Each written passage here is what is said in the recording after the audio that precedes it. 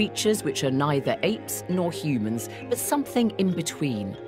Creatures with names like Australopithecus africanus and Paranthropus robustus. Professor Francis Thackeray is an expert on South Africa's hominin fossils.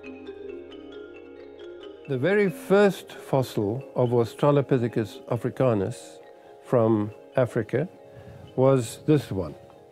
This is a replica of the famous Taung child. Taung is situated near Kimberley in the interior of South Africa.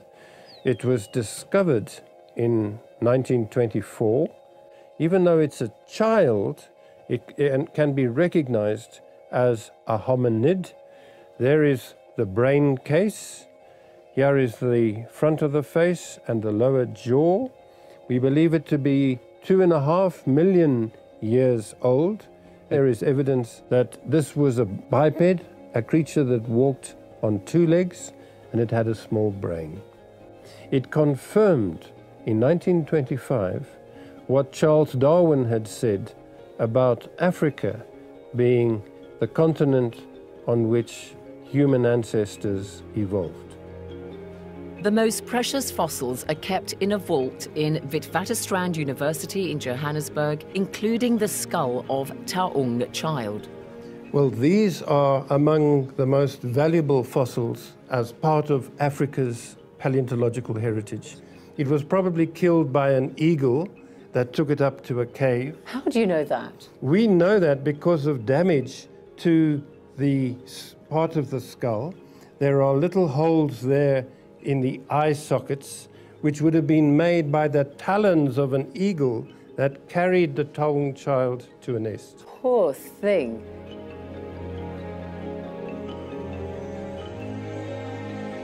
Life for our early ancestors was perilous. Staying up in the trees afforded them some protection from predators. But at some stage, hominins began to walk on two legs. One theory holds that as the climate changed, there was less woodland and more grassland, so there was a greater abundance of food on the ground. The realization that these creatures walked habitually on two legs is important because that became a key characteristic of humans which distinguishes us from apes. It meant that we could have our hands free and use our intelligence to get up to all sorts of things like making tools and hunting with weapons. If you're a large ape and you're walking along on four legs, um, although you can stand up periodically, your hands cannot carry things any distance. Your hands are not structured to handle things with precision. Once you become upright habitually, and your hands are freed, all sorts of anatomical changes take place in terms of how you use your hands, how you use your shoulder, how you use your elbow. There's no question that chimps are intelligent. There's no question that porpoises are intelligent. But without free hands, they can't do much about their intelligence. Scientists believe they can date the point at which our line diverged from other primates like gorillas and chimpanzees at about 7 million years ago. This started the process which led to us becoming fully upright or bipedal. I think a date of around 7 million years is where to look for our ancestors. It does seem that the molecular evidence suggests a split from the chimps somewhere around 7. It's not a precise figure, it could be 8, it, it could be 9 million. But I think at this stage we can say that full bipedalism, which I, for me is part of the fundamental definition of being human or pre-human, doesn't come in until between four and a half and five, from what we have seen so far. As the archaeologists and paleontologists continue their work, more and more discoveries are made which help us fit a small part of the jigsaw puzzle that makes up the evolution of humankind. More accurate methods of dating fossils have been developed that help us to do this. Hominins have been found in other parts of the world, but none is as old as those in Africa. One important and famous discovery was the skeleton of Lucy in Ethiopia in 1974. What was remarkable about her was that archaeologists discovered quite a lot of her skeleton, enough to get a good sense of what she looked like. Lucy, as she's known to the world, lived about 3.2 million years ago. I've come to the National Museum of Ethiopia in the capital Addis Ababa, where her remains are kept. Hello, hello, Hi. Professor. Hi. How are you? Nice, nice to, see you. you. Hello, thank you. Yeah, hello, Yari. Ethiopians call her Dinkinesh, and her actual bones are under lock and key in a special room where the temperature is controlled. I'm privileged to be allowed to see the real Dinkinesh, or Lucy, with one of Ethiopia's leading paleoanthropologists, Yohannes Haile Selassie.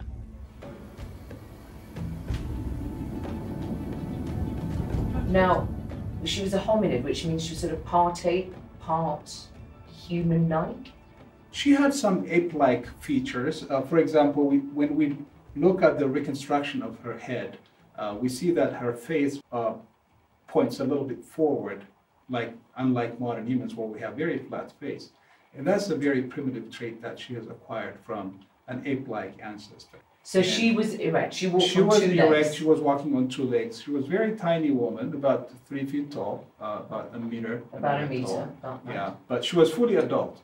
Her brain size was not larger than an ape's. Uh, we were talking about 300, 400 cc of brain capacity, which is within the range of chimpanzees that you see today.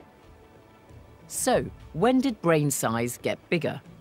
We have some evidence in terms of when did we start enlarging our brain size.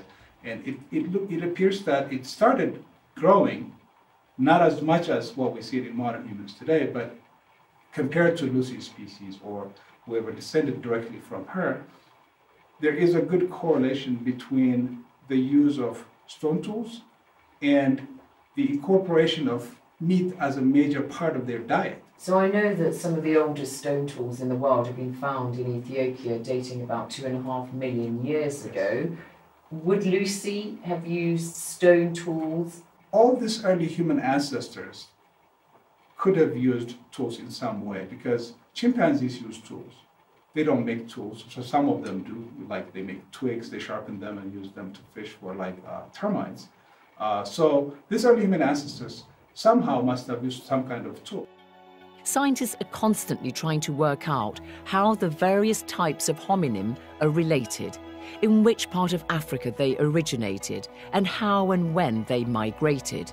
What is clear is that other lines died out, and there was just one, the Homo genus, which led directly to us.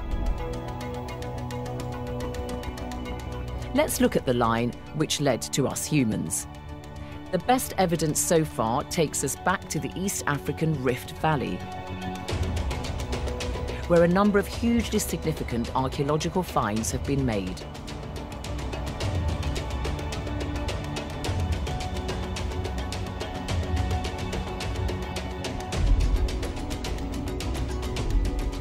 Here in the Olduvai Gorge in northern Tanzania, Conditions created by volcanic activity made the soil and rock here ideal for finding fossils and stone tools. The Leakey family spent many years working in the Olduvai Gorge, and it was where Richard Leakey's brother Jonathan discovered the first evidence in Africa of the species which was our direct ancestor. So, in 1961, my brother Jonathan discovered partial skull and a lower jaw that was clearly not Australopithecus or Paranthropus, but it was much more like what you would expect for an early us. It had a larger brain, it had a hand that was capable of much more manipulation of, of objects, and they call that handyman or Homo habilis. So, can you categorically say that Homo habilis is the earliest fossil find of the line that gave rise to modern humans? I think if we're going to be accurate, I don't think one could say it is indisputable.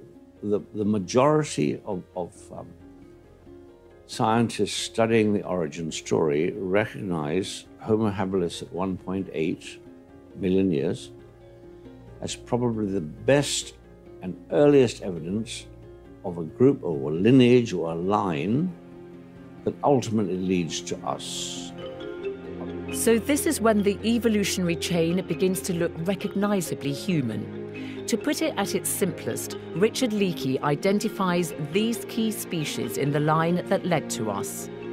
From the fossils which have been found, there's evidence from 2.1 million years ago of Homo habilis, the handyman, so called for his ability to make tools. From around 1.8 million years ago, there was Homo erectus, who was more upright and developed more sophisticated tools.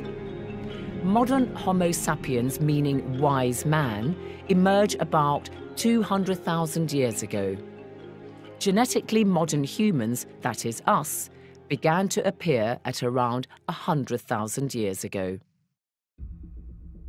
So we've looked at the process of evolution, how we parted company from gorillas and chimpanzees and became modern Homo sapiens. But what about the why? Why is it that humankind evolved in Africa and not elsewhere in the world?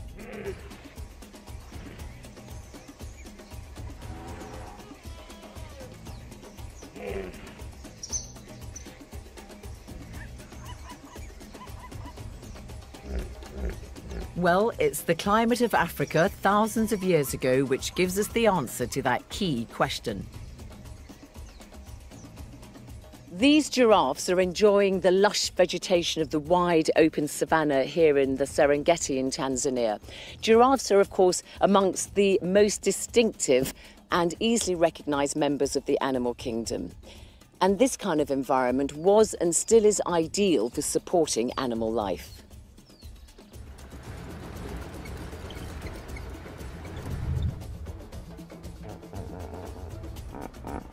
It was this climate and landscape, like the open grassland in the Serengeti, which gave rise to the perfect conditions for the evolution of the great apes, gorillas, chimpanzees, and the ape men who developed into humans. There was then, and still is now, plenty of game for carnivores to hunt. When you're here in the Serengeti, it's clear that the rules of engagement are eat or be eaten. Just about every animal is either on the lookout for something to eat or is watching fearfully to avoid being eaten itself.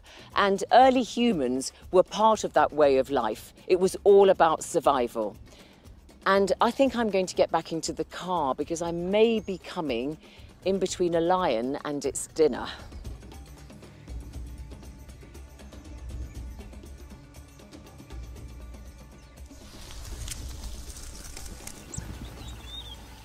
While parts of Africa, like the Serengeti, are obviously lush and rich in wildlife, others are arid. But that doesn't mean they were always like that. Over the course of the millennia, the climate changes. For instance, the Sahara Desert dried out through time. Until about 10 to 12,000 years ago, it supported animal and plant life.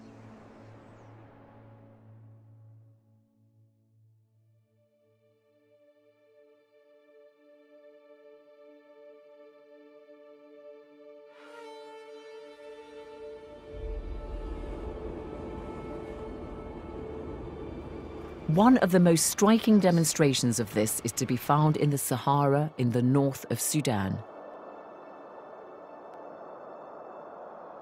It's hard to imagine that the Sahara Desert in northern Sudan wasn't always like this.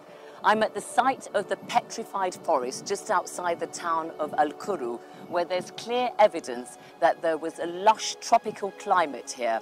There were giant trees. You can see the fossilized tree trunks around me. There was water running through here, and at some stage many millions of years ago, these trees fell into the water. There was silica in the water, and this, combined with the high temperature, led to a chemical process whereby the tissues of the tree trunks were replaced by the silica, preserving them for posterity by fossilizing them.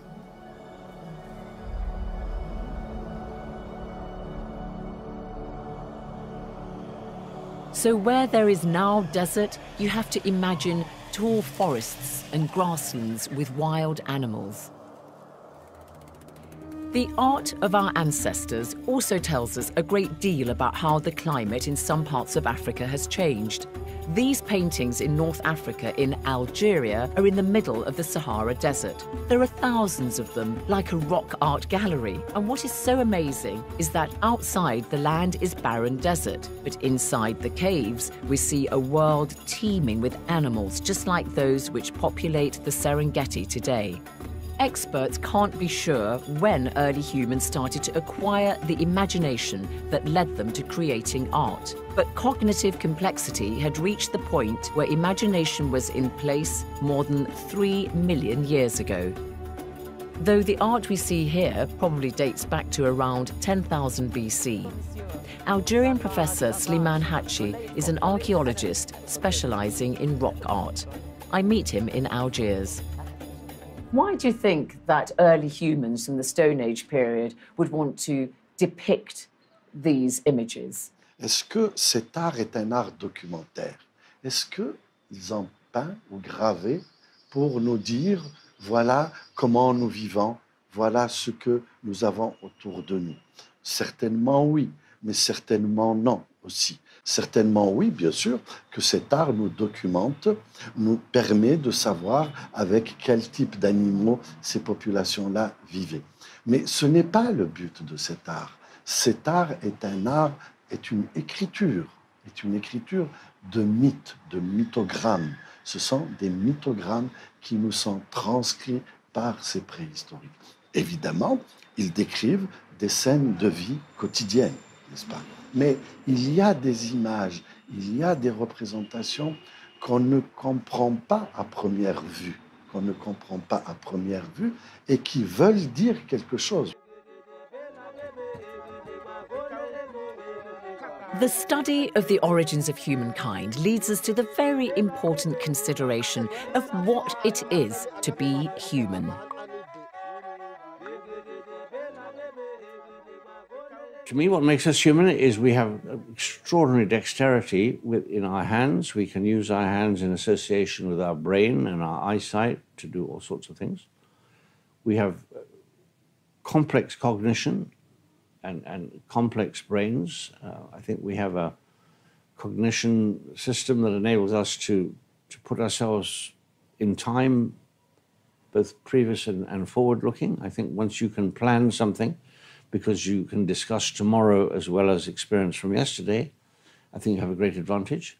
Um, I think accessing rich diets was critical to becoming us. I think those are the issues that we're looking for, and one which at the moment seems to defy um, research of the kind we do is, is the origin of speech. And, and, and once you can convey complex messages as opposed to messages, you have an unfathomable advantage of everything else.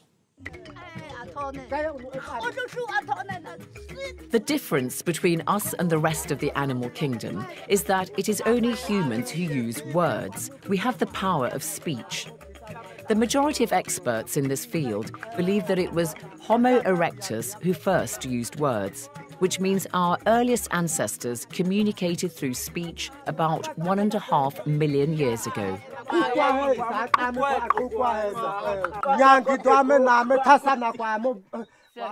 I, it, it's really fascinating. You know, the Hadzabe speak a click language known as Hadzane.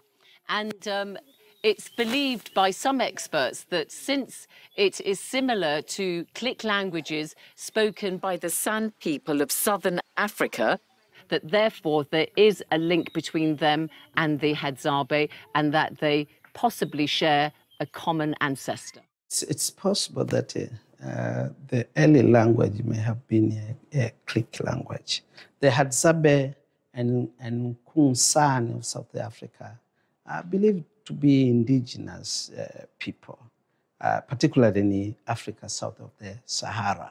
People believe that this early language may have been a click language like that of Hadza today, or, or even uh, the Kunsan of the Kalahari. The Hadzabe have taught us so much about how our early human ancestors survived, lived, how they ordered their societies and their beliefs. Before I take my leave of them, I end my visit on a very enjoyable note. They want to show me one of their special dances which they perform before a hunt.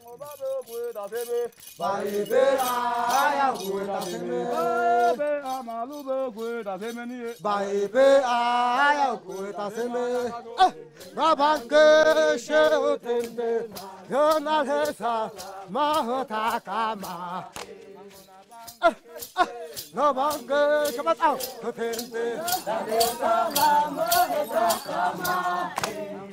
Rabanke sheutende kama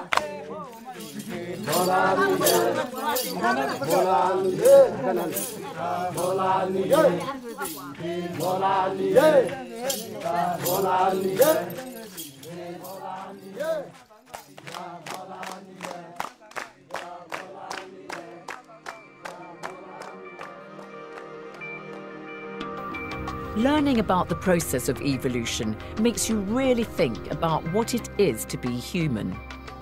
Dancing, singing, talking, telling stories and jokes, creating art, making things with our hands, having some kind of belief system and spirituality. All these things are part of the makeup of humankind. And Africa is where it began. We all came out of Africa.